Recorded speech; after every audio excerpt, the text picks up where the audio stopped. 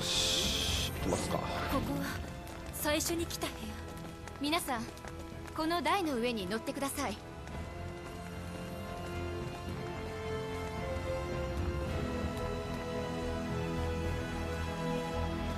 急いでください。転送開始。了解。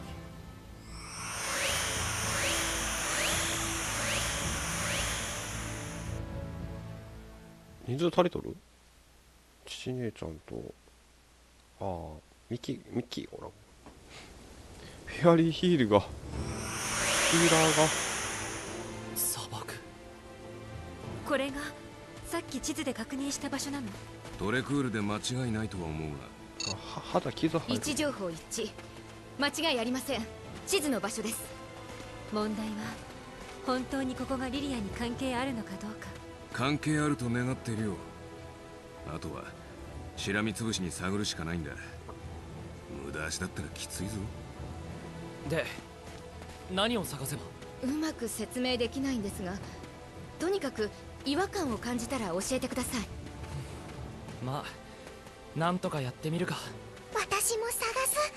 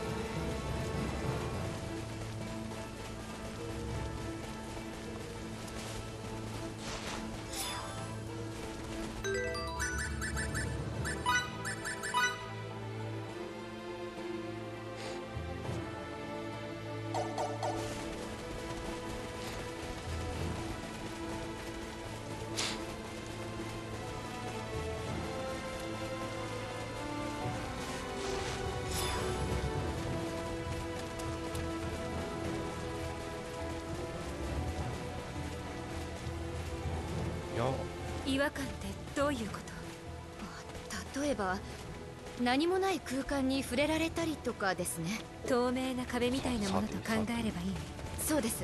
よくわからないけどなんとか探してみる。触りたくても触れない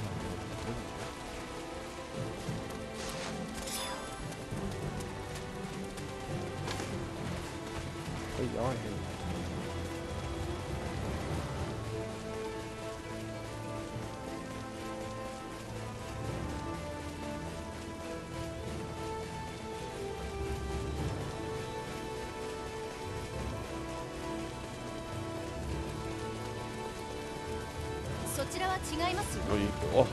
これじゃん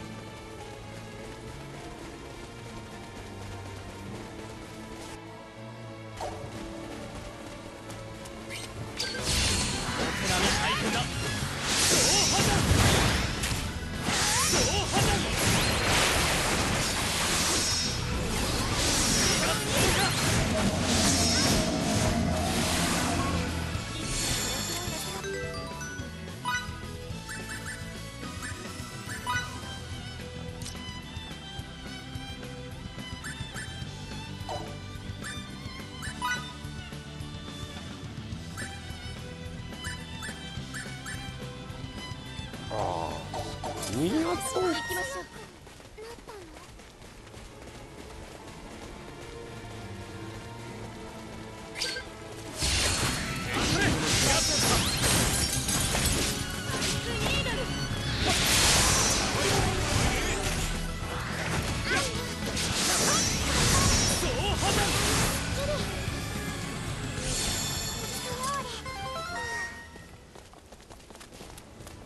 でも成長するもんだな。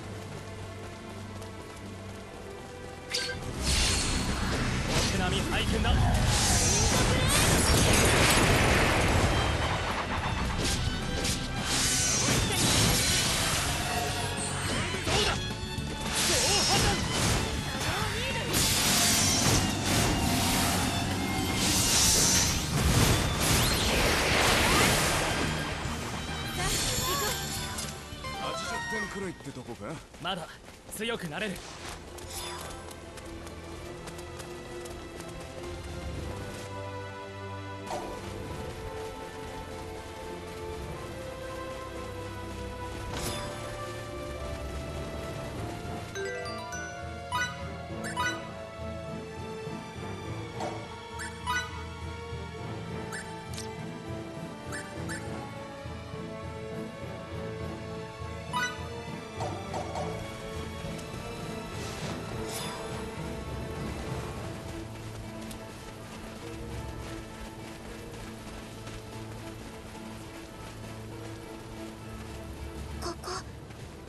覚えがある。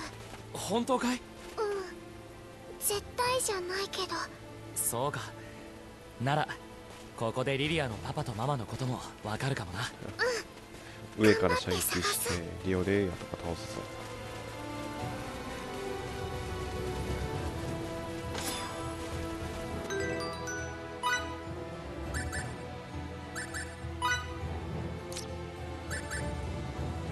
おベニシグレやクレッセンドローカス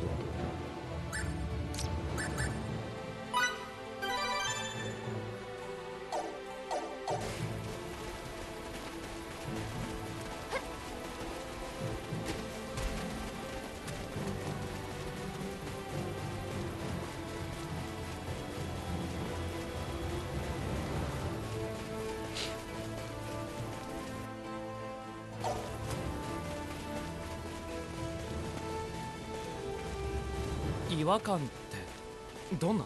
行けるように見えるのに何かに阻まれるような感じの場所などがあれば。やっぱりよくわからない。そっちに何かあるの？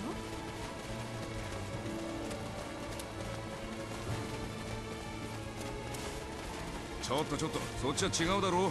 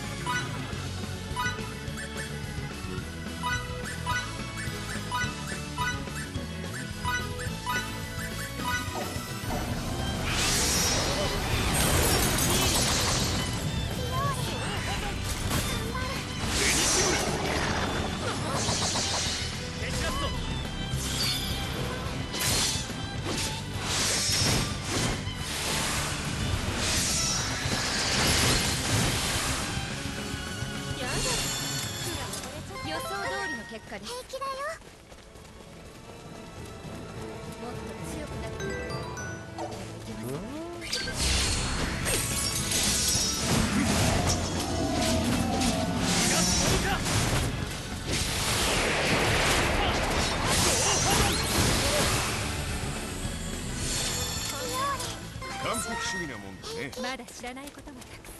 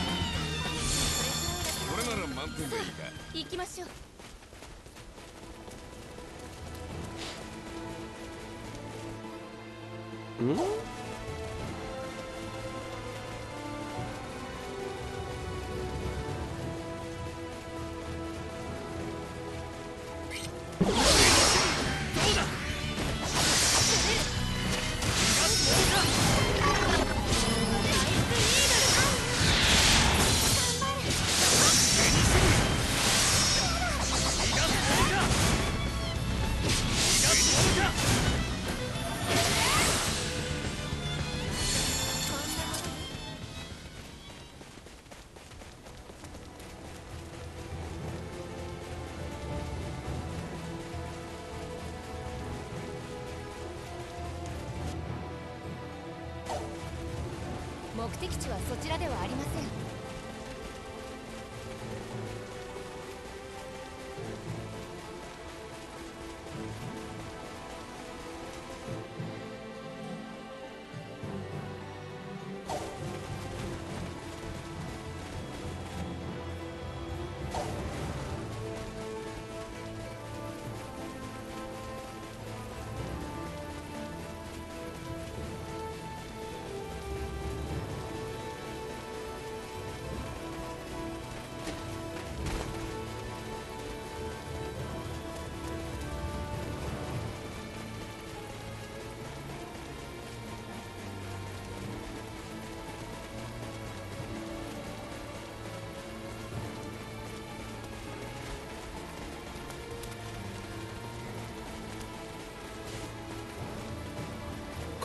もしかして。アヌさん！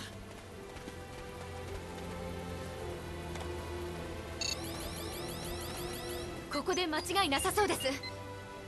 よし。リデルすごい。透明偽装です。すぐに解読します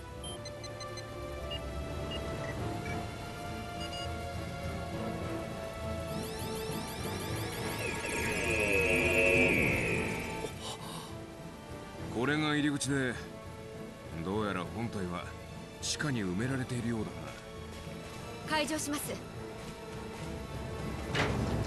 リリア。いいか？追いかけるぞ。ああ。走ってたぞ。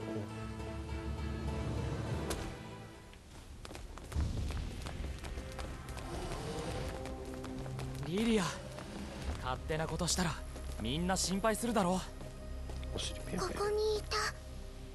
私ここにいた。ビンゴ施設内に彼女の部屋があるはずです。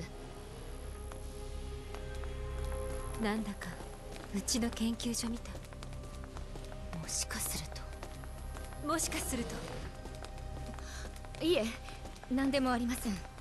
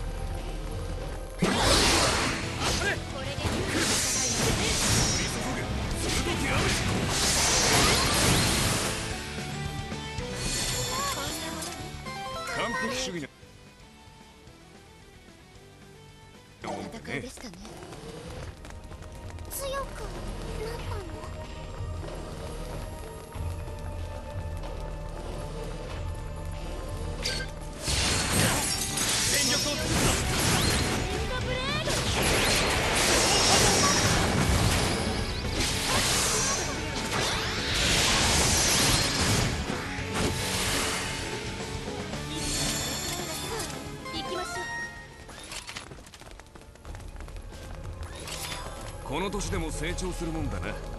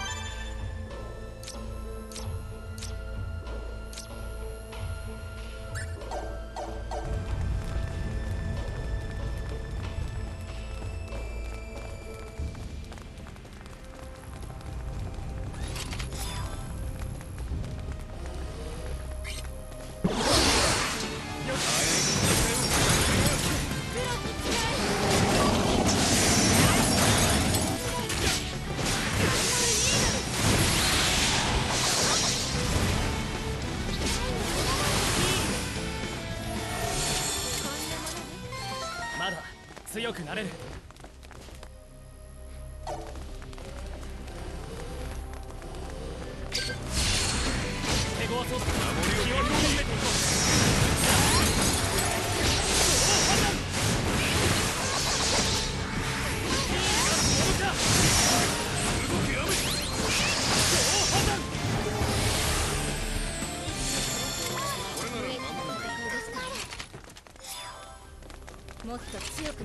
けま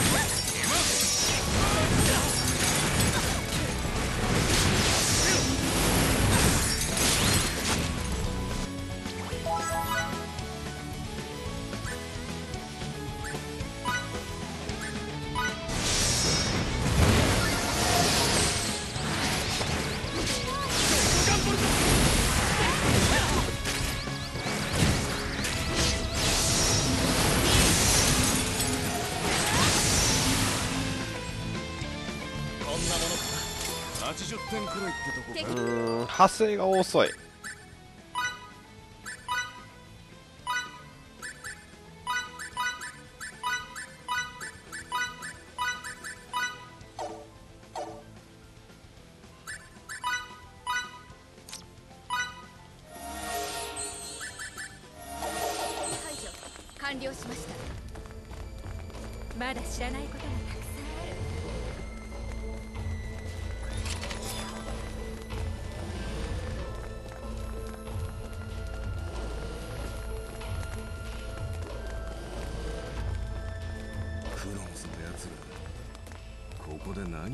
してやがった。樹院の研究？いや詳しく調べなければ断言できない。協定違反ですね。証拠は自然に集まるだろう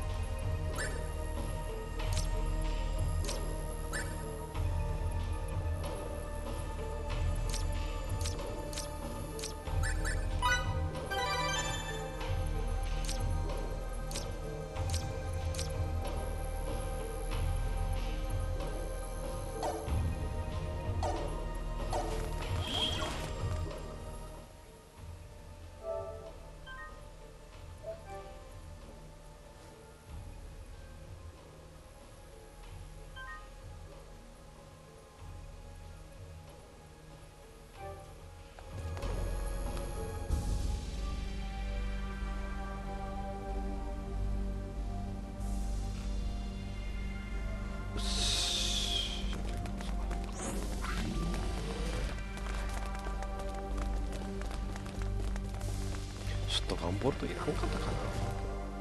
あ逆。か。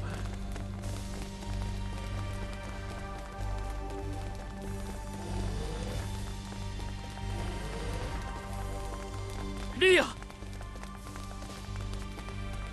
お友達？おもちゃ？お姉ちゃん？何か思い出したのか？リリア。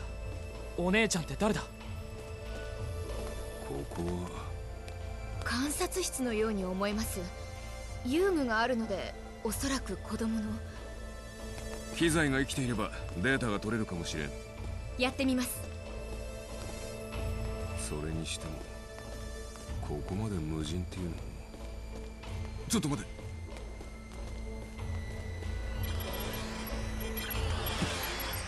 罠か。戦闘準備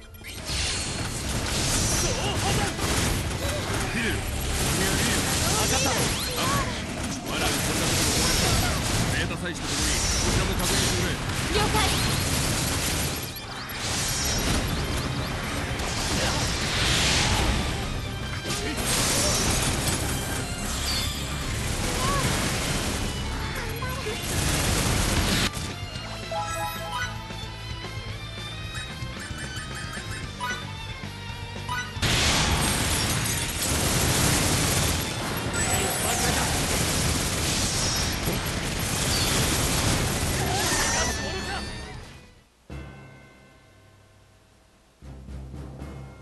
ごめんなんかなんかジャムったジャムった。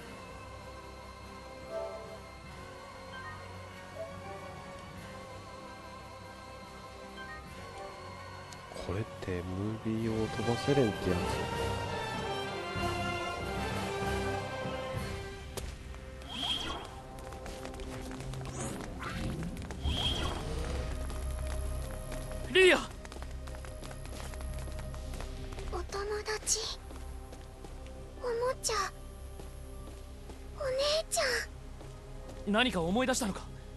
リリアつこれはお姉ちゃんって連続マイトハンマーかよそいここは。観察室のように思えます。遊具があるのでおそらく子供の。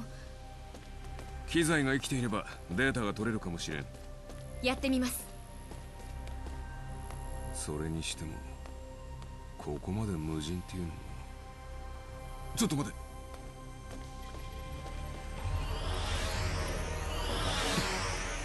罠か戦闘準備。フィデル君はリリー分かった。なんだろう。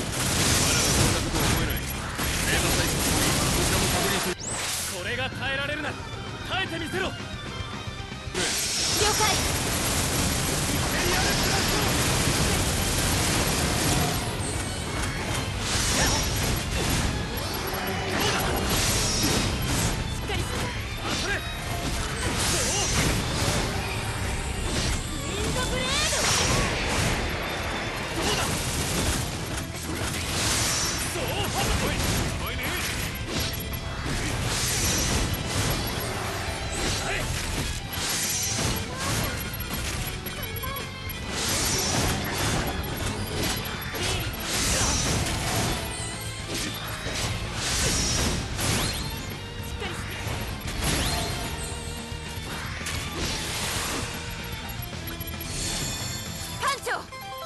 何か分かったかやはり罠です。サイレントカウントダウンで自爆設定がされています。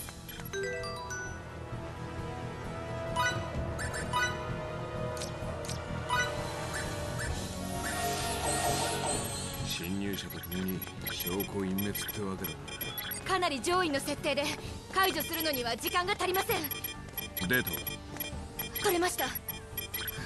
爆発まであまり時間がありません。セキュリティは？逃がさないための時間稼最ぎ高やね。それ分かっとるわエマーソンよりチャールズ・ D・ ゴールへ。妨害波が出ています。自力で脱出するしかないってことか。カウントダウン進行中。残り時間18分。ここは爆発する。みんな脱出するぞ。出口に向かえ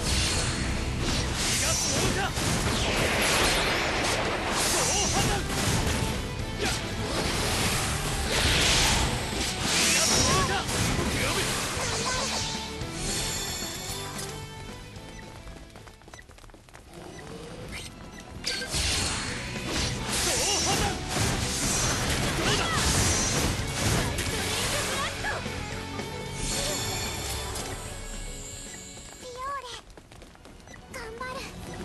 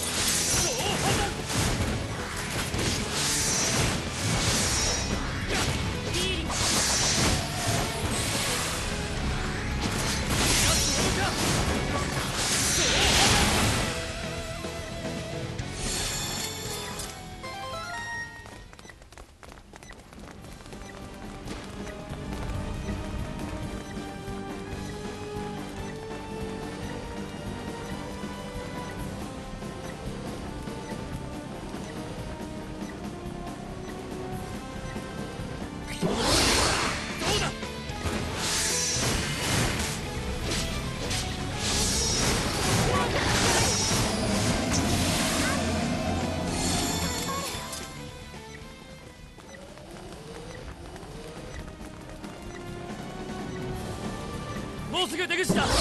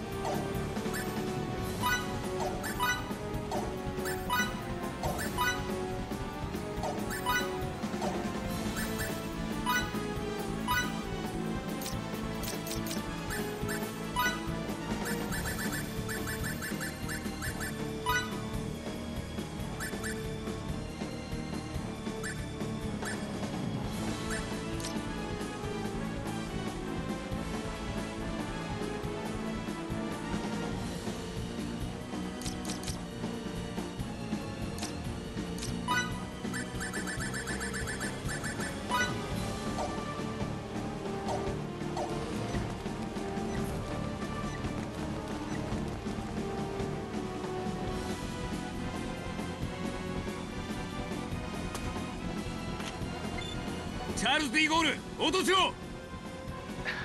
こちらチャールズ・ D・ ゴール今すぐこちらの5人を転送しろ！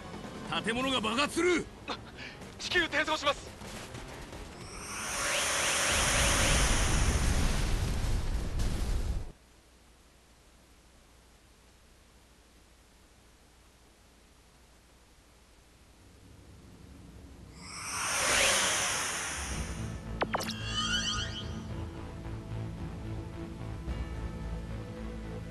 と15分ぐらいあったはずなんやけど。みんな無事でしかし手がかりも破壊されてしまった。全部燃えちゃった。結局あの研究所は何だったの？資料の解析が済んでいないので推測になってしまうんだがあそこはクロノスという勢力の研究所だろう。クロノス？そうだ。あと1分話は長くなるから医務室へ向かいながら説明しよう。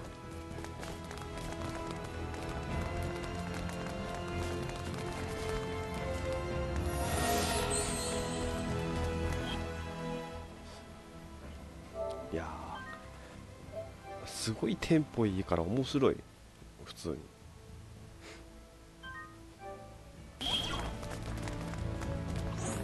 すごいテンポがいいこのゲーム。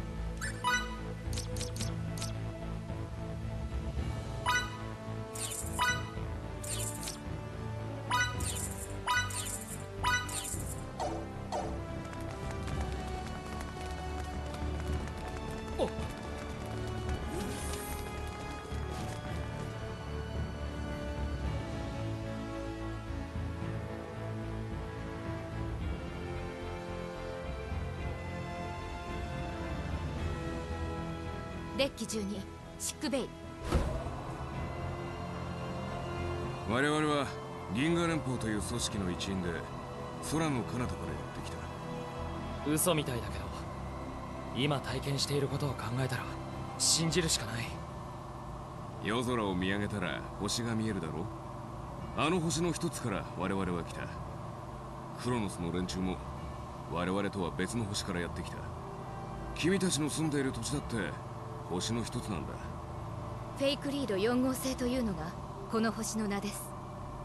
銀河連邦とクロノスはお互いの領域とその間にある中立領域に近づかないという不可侵協定を結んでいた。それが破られた。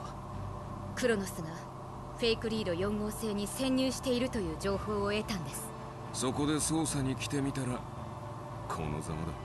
あなたたちとクロノスの関係は分かりました。でもそれとリリアにどんな関係が？モチビちゃんはあそこの施設に住んでいた。リリアさんはクロノスの研究の実験体だったのでしょう。アンナ出過ぎた発言でした。おおこんな実験体。鍵はリリアの呪印か。もはや家出少女を家に届けるというレベルの問題じゃなくなっている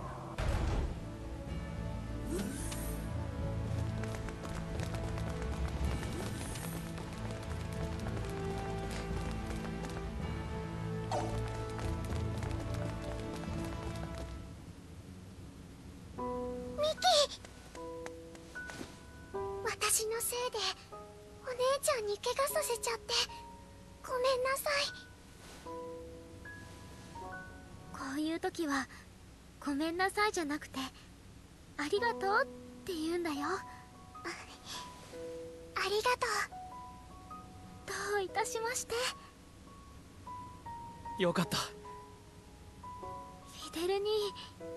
エマーソンさんとアンヌさんが助けてくれたんだ。二人がいなければ助けられなかった。ここの人たちにも聞きました。本当にありがとうございました。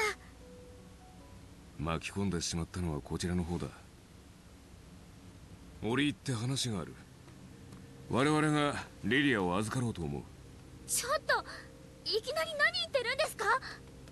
おちびちゃんを追っているのはクロノスという組織だ。クロノスと我々の関係は後でフィデルに聞いてほしい。だからどうしたって言うんですか？奴らのしつこさは君も知っているだろう。リリアは奴らにとってそれほど重要なんだ。奪還を失敗し続けている以上より強硬な手段に出てくるだろう。だけどクロノスの技術力は私たちに近い。彼らが手段を選ばない以上あなた方だけでリリアさんを守ることはもはや困難です。我々ならそれができます。あなた方の国も攻撃にさらされることはなくなるはずです。私残る。リリお任せしていいんですね？約束しようよろしく。お願いします。地上に送ろう。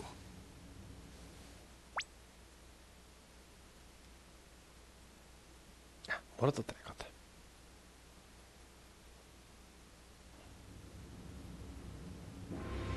た。あなたたちとの出会いに感謝します。アいろいろとお世話になりました。私の研究でいつか君たちに追いついてみせるリリアのことを。よろしくお願いします。ああ。君たちも元気で。幸運を。リリア元気でね。ミキ。幸せになるんだぞ。フィデル。バイバイリリア。バイバイ。バイバイ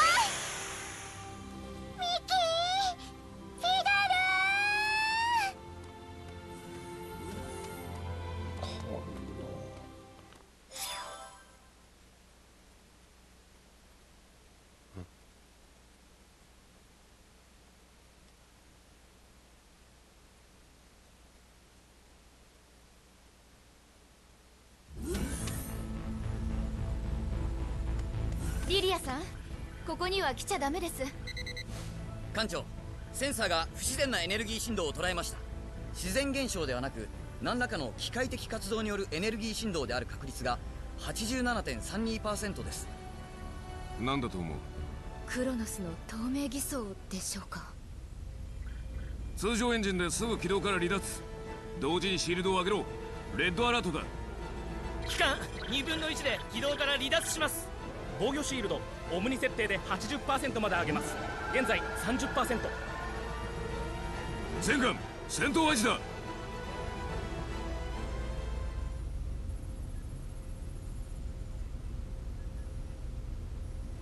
スクリーンを戦術モードに。右舷方向だ。機関全速。シールド効率を100%上げろ。右舷避難シールド効率は97%を維持しています。敵艦の魚雷の装填を確認。アンヌ魚雷に関する情報は？不明です。コース340マーク0から90の45へ。左舷につけるぞ。現在観測0.87フェイクリード5号星まで3分の距離です。敵艦が魚雷を8発発射しましたコース360へ進んでいます。敵2番艦がコース50マーク270の方向に向けて8発発射。ヘイジアンタクティクスか。クロノスには艦隊戦を熟知している奴がいるようだな敵艦よりフェイズキャノンが発射されました。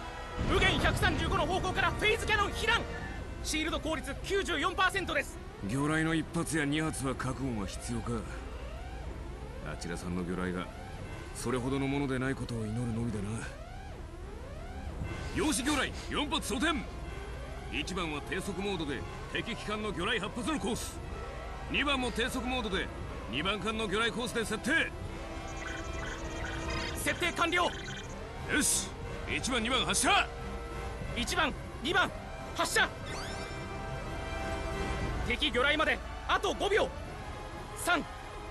321 0敵魚雷計10発残存。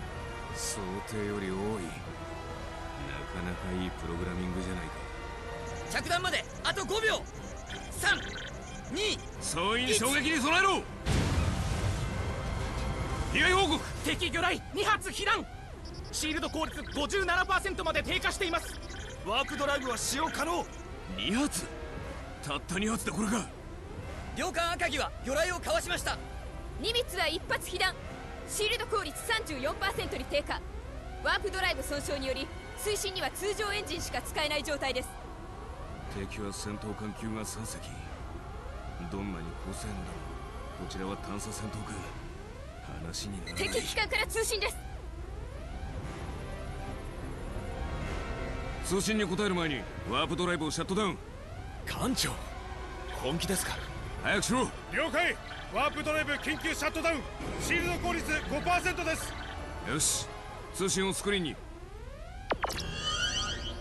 クロノス宇宙軍所属ダリボロス艦長アーロンだ。銀河連邦所属チャールズ・ディ・ゴール艦長のケニーだ。ケニー？銀河連邦の名門一族とお会いできるとは光栄の極み名ばかり大きいと敗北の言い訳もさぞかし大変だろう。ご心配痛み入る。我々の要求は分かっているな。応じよ。う艦長？その代わりに条件を聞いてくれ。なんだ？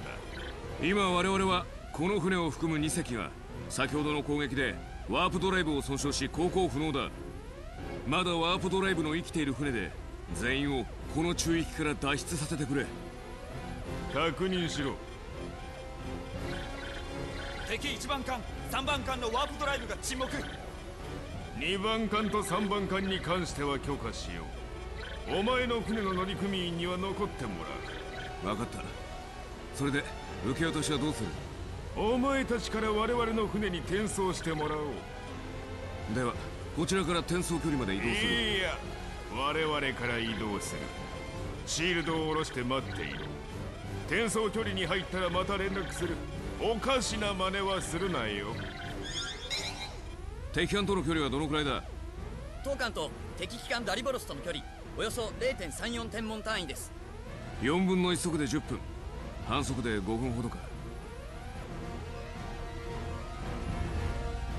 ニミッツの乗員は最短で赤城に移管手段は問わない。了解。全員移管後赤城はすぐにワープアウトして第5新宇宙基地に向かうんだ。チャールズ・ディ・ゴールの乗員は？我々は脱出スポットで5号線に降りる。後で救出に来てくれ。敵艦ダリボロス含む3艦が本艦に向かって4分の1速で移動を開始。転送可能距離まで10分47秒です。全艦へ通信回線を開け。開きます。どうぞ全艦へ通達。これから全ての乗員は近くの脱出ポットに乗り対艦の準備をしてくれ。ただし射出は合図あるまで待機。以上だ。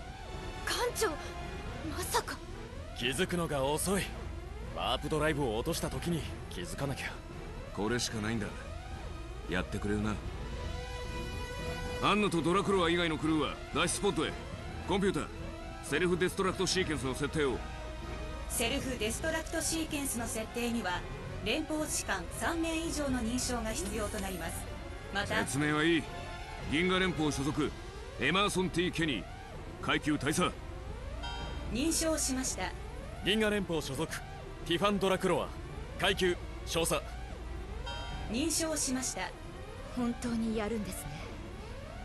ただでさえ未開惑星保護条約を破っているのにこれも重罪ですよ。分かってるさ。銀河連邦所属アンヌ・ペトリシアに階級注意。認証しました。セルフデストラクトシーケンスが設定可能です。12分を silent countdown。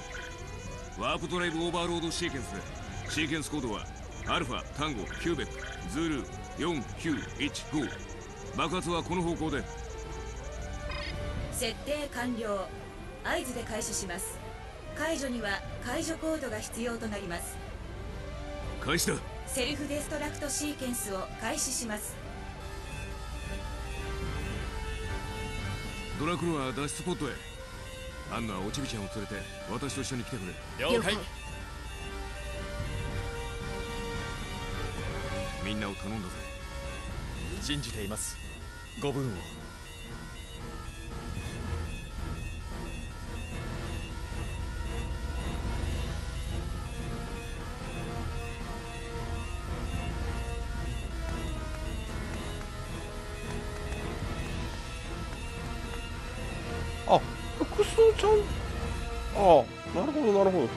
違うんか。あパンツのやつだったデッキ1カーゴベイ。まずは転送のタイミングに合わせて脱出ポットを射出する。その中に1機だけシャトルを紛れさせるんだ。ポッドとシャトルの射出方向はクロノス艦に対して180度で頼む。はい。次にダリボロスに転送するふりをしてリリアと我々をそのシャトルに転送するんだ高速移動体への転送？不可能です。転送されるタイミングでシャトルに急制度をかけて転送可能なスピードまで速度を落とすんだ。その後加速すれば脱出可能だ。ろ理論上は可能ですが。理論上可能ってことは君のプログラミング次第で実現できるってことだ。頼んだぞ